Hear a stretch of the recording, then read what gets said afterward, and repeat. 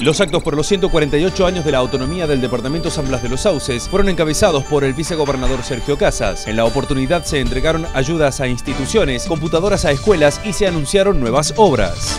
Con el fin de elaborar un proyecto de mejoras edilicias y una refuncionalización de las instalaciones de Canal 9 y La Torre, el ministro Néstor Bossetti y el secretario de prensa Luis Olorza visitaron Radio y Televisión Riojana.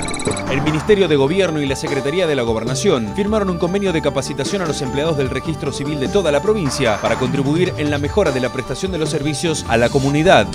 A través del Ministerio de Desarrollo Social se realizó un nuevo taller de alimentación en embarazadas y pautas de crianza en el barrio argentino, destinados a los niños embarazadas y madres en condiciones de vulnerabilidad social.